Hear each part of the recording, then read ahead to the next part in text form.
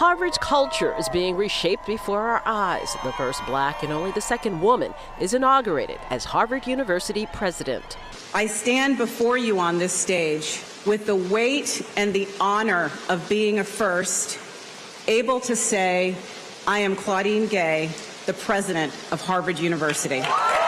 The downpour symbolic of the resilience required to navigate political storms ahead. It is a game changer. Uh, if you want to do something around diversity, bring people with lived experience who understand and have a sense of urgency around impacting the diversity within their institution, put them in charge. I earned my doctorate here at Harvard University. Dr. Douglas, the state's first black woman cabinet member, a former secretary of Consumer Affairs and Business Regulations, is an inaugural guest. She shares photos from last night's party with President Gay.